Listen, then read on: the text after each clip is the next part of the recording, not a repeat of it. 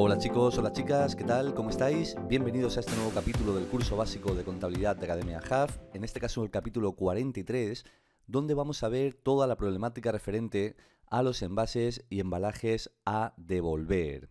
Tanto los envases y embalajes a devolver por clientes, porque nosotros se lo hemos vendido una mercadería que incluía unos envases y embalajes y no lo tienen que devolver los clientes, o cuando es al revés, que compramos desde la perspectiva de un cliente que le compra a un proveedor, por lo tanto se lo tenemos que devolver nosotros a nuestro proveedor, a proveedores. En contabilidad pueden ocurrir esos dos casos, que seamos nosotros los que vendemos, por lo tanto los envases y embalajes nos los tiene que devolver un cliente o los clientes a nosotros, o que nosotros se lo tenemos que devolver a un proveedor. Eso es lo que vamos a ver en este capítulo. También tenemos que tener en cuenta, arrancando ya con el vídeo, que hay envases y embalajes que no son mercaderías, lógicamente, que son envases y embalajes, pero que no tienen que retornarse, no tienen que devolverse, son no retornables. Y en ese caso es mucho más sencillo. La problemática un poco, aunque es un poco enrevesado, pero no es difícil, se puede entender bien, es cuando son retornables, es decir, cuando tenemos que devolverlos. Vamos a empezar en el vídeo viendo rápidamente por su facilidad, lo vamos a ver rápido, cómo se hace cuando los envases y embalajes son no retornables.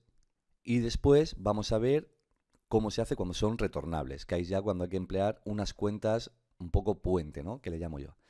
Cuando son no retornables y somos nosotros los que compramos mercaderías, es muy fácil, porque compro mercaderías que van a las 600, a un proveedor, aquí van las mercaderías, compra de mercaderías, y si esa mercadería, por ejemplo, eh, son botellas de de alcohol que se tiene que retornar, que no se tiene que retornar el, envase, o es una maquinaria, por ejemplo, que lleva unas maderas o algo que le han puesto que me lo cobran aparte para que no se mueva en el transporte, pues eso ya no es el precio de la mercadería, ya no es lo que vale eso más, sino que es realmente, hay que llevarlo a la 602, a la 602, que es compra de otros aprovisionamientos tendríamos las 600 para el importe de las mercaderías, lo que vale el envase y el embalaje que no vamos a devolver, lo podemos tirar a las 602 y todo esto a quién? Pues al proveedor, que es el que nos vende todo, a la 400 proveedor. Esto es si somos nosotros los que compramos. Si somos los que vendemos envases y embalajes no retornables, que el cliente no los tiene que devolver, pues en este caso el asiento es, por un lado, a las 700 venta de mercaderías por el importe de la mercadería que vendemos, y por otro lado a la cuenta 704 por la venta de envases y embalajes, como que los vendemos por separado. Por supuesto que tanto las mercaderías como los envases y embalajes llevan IVA, o sea que aquí habría una cuenta 477 de IVA repercutido, igual que aquí habría una de 472 IVA soportado, donde estaría el importe del 21%, en este caso que es el IVA actual, de la suma de la venta de mercaderías más la venta de envases. ¿Y todo esto a quién? Pues se cargaría el debe a la cuenta de 430 clientes. Así de sencillo es cuando efectivamente los envases no se retornan. Ahora, ¿qué ocurre cuando son retornables? Cuando son envases y embalajes retornables, lo que ocurre es que esa mercancía que nosotros compramos a un proveedor o que vendemos a un cliente, realmente ni la compramos ni la vendemos, sino que se lo entregamos en depósito. El concepto del depósito es un concepto que se usa habitualmente o a menudo en contabilidad. Por ejemplo, si yo le quiero vender, tengo un cliente que a su vez revende lo que yo le vendo a él, me puede decir en un momento dado, oye, mándame 50 libros y no me los cobres, me cobras conforme yo los venda, los tengo aquí en depósito y si vendo 5 un mes, me facturas esos 5. Es decir, en vez de tener los 50 libros en tu almacén, los tengo yo aquí y me facturas conforme yo los voy vendiendo. Y hay mucha gente que funciona así, muchas empresas que funcionan así. En el caso de los envases y embalajes, pues es más o menos lo mismo porque estamos esperando que nos los devuelvan. Es decir, yo le vendo a un cliente una mercancía, los envases y embalajes son retornables, se la mando en depósito porque luego me los va a devolver. Por lo tanto, no quiero contabilizar ese ingreso porque realmente no es un ingreso, puesto que me lo va a devolver. Y él tampoco se lo contabiliza como coste porque realmente no es un coste porque lo va a devolver. Y para eso se usan unas cuentas puente, que son las cuentas 437, que es cuando vendemos, pues tenemos que reflejarlo en esta cuenta que es envases y embalajes a devolver por clientes. Y en el caso en el que sea un proveedor, porque sea una compra que hemos hecho nosotros, a la cuenta 406, envases y embalajes a devolver a proveedores. Estas son las dos cuentas puente que vamos a utilizar. Que no os líe eh, la doble perspectiva que estamos llevando en todo el capítulo, en todo el vídeo. Y es que vemos en todo momento cómo se contabiliza, siendo nosotros los que vendemos a un cliente y si desde el punto de vista que somos nosotros los que compramos, ¿vale? Que no líe eso, pero es que es la realidad. Nos puede pasar en cualquier momento que estemos a un lado o a otro de, de la operación comercial. Y una vez que yo he contabilizado en estas cuentas de depósito esas entregas de mercancía, si las devuelvo, simplemente habrá que compensarlas, ¿verdad? Pero si me los quedo, habrá que entonces utilizar las cuentas de 704 de venta o de 602 de compra de, otros aprovisionamientos. Y eso lo vamos a ver mejor con un ejemplo, que lo tenemos por aquí. Con este ejemplo de aquí, en este caso de compra, vamos a ver cómo se contabiliza todo realmente y qué pasa luego si, no se devuelve parte de esa mercancía, etcétera. Tenemos que compramos una mercancía a un proveedor por importe de 20.000 euros. Los envases embalajes cuestan 3.000. Dejamos pendiente de pago todo y a los 15 días devolvemos solo la mitad de los envases embalajes porque el resto nos lo vamos a quedar. Por lo tanto, el proveedor nos los va a facturar como un ingreso para él y nosotros tenemos que contabilizarlo como un gasto. ¿Qué hacemos en este tipo de asiento? Pues bien, en primer lugar, contabilizamos lo que aquí dice. Lo vamos a contabilizar con IVA y con todo. ¿Compramos mercancía a un proveedor? Pues 600, compra de mercaderías. Por importe de 20.000 euros, pues 20.000. Resulta que también hay envases y embalajes por importe de 3.000. ¿Eso es una compra de mercadería? No. Son envases y embalajes que entran en nuestro almacén y se los tenemos que devolver al proveedor. Pues para eso está la cuenta 406 que dice envases y embalajes a devolver a proveedor por importe de 3.000. Aquí habrá un IVA soportado. ¿Por qué importe? Pues por el 21% de 20.000 más 3.000. ¿Cuánto es el 21% de 20.000 más 3.000?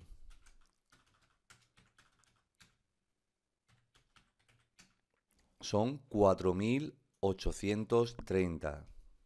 ¿A quién? Pues todo esto al proveedor al que le voy a deber la suma de 20 más 3.000, 23.000, más 4.830, pues son 27.830. ¿Y qué ocurre después, a los 15 días? A los 15 días devuelvo la mitad y el resto me los quedo. Venga, pues entonces, cogemos esta cuenta de 406, tenemos que saldarla entera, ¿verdad? Porque estos embalajes es como si lo devolviera completamente. Con el proveedor ya este depósito no lo tengo. Pues la llevo a la ver. 406, esta cuenta de envases y embalajes por importe de 3.000.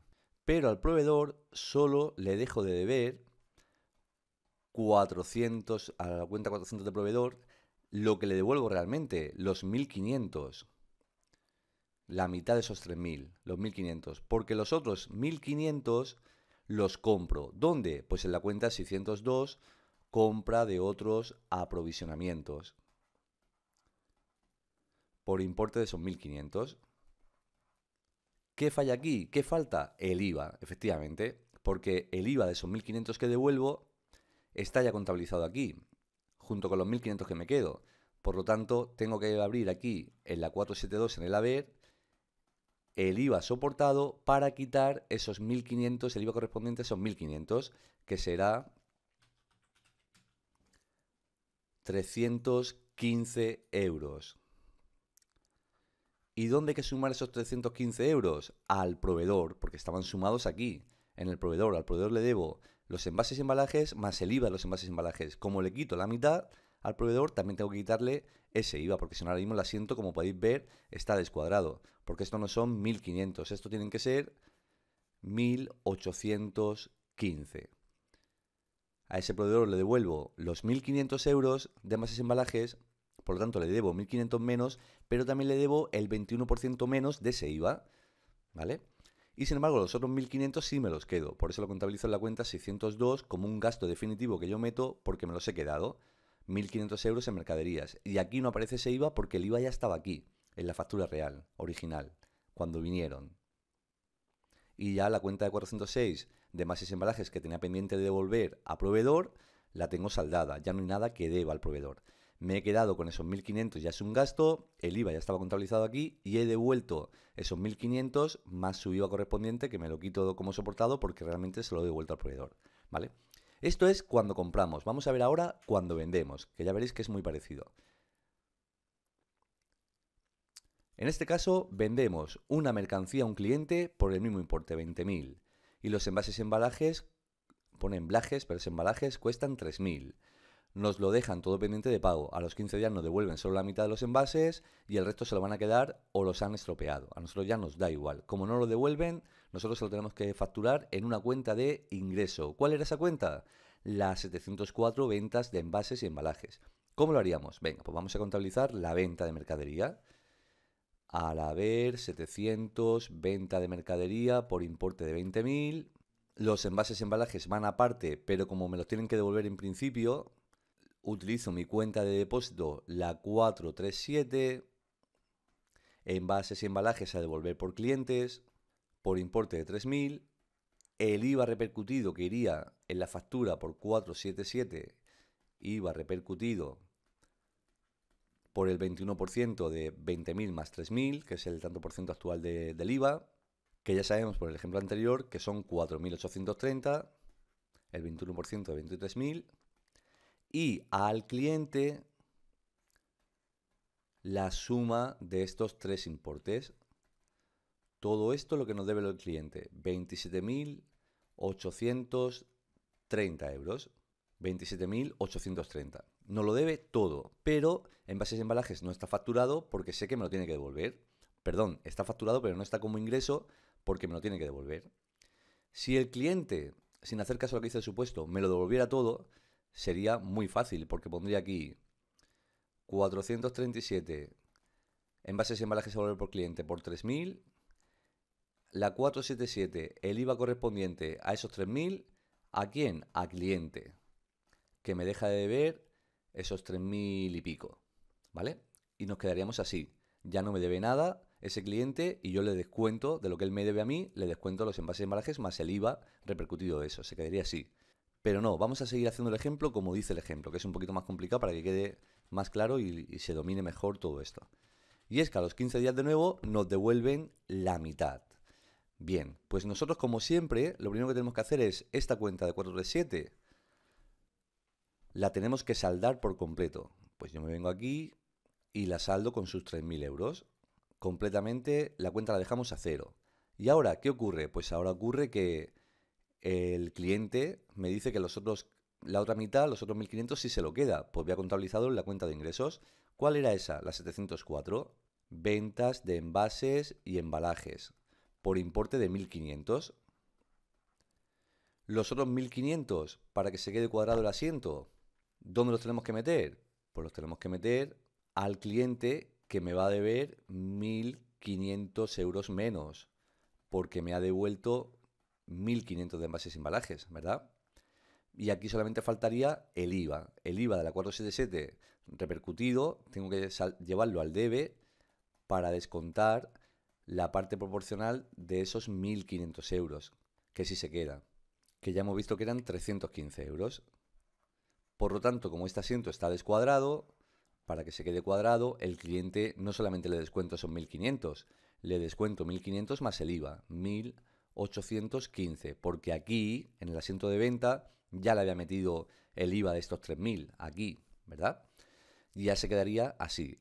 No hay nada que me tenga que devolver el cliente, le he facturado los 1.500 que se queda y le descuento los 1.500 de la cuenta de cliente que me devuelve más el IVA correspondiente a esos 1.500 que me devuelve. Ese es el sentido de las cuentas de depósito de envases y embalajes a devolver a proveedores o a devolver por clientes. Bueno, pues esto es todo. Un vídeo un poquito largo para poder explicar todo de las dos perspectivas, desde compra hasta venta, pero espero que os haya quedado claro y que os sirva de ayuda para vuestros estudios de, contabilidad. Un saludo muy grande y muchas gracias por venir a clase. Nos vemos en el siguiente vídeo. Hasta luego.